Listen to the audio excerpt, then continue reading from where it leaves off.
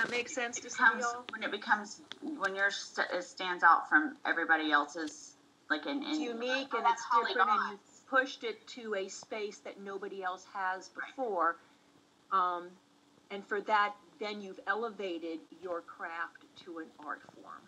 Nice. So, yeah, and, and that's not, that's not the right answer, that's just my interpretation. yeah.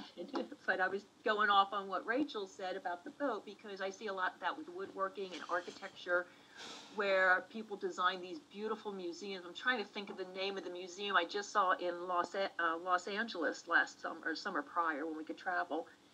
Um, beautiful silver museum, designed by a well-known architect, and his name completely escapes Uh, me right Gehry, now. Frank Gehry? Yes, that's probably it. Um, and that's a work of art. Yes, it's a building. This is what my classes are every fucking for an hour and 30 minutes. These niggas are constantly talking over each other.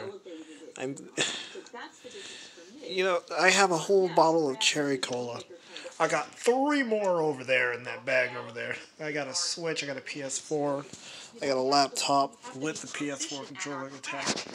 I got pizza, I got Dude, for an hour and 30 minutes, I have to sit here in front of all of this. What's that? So is craft more related? The worst part is I've been in this class already. relates To the process. Um, I mean, you have to know the process, the elements, and everything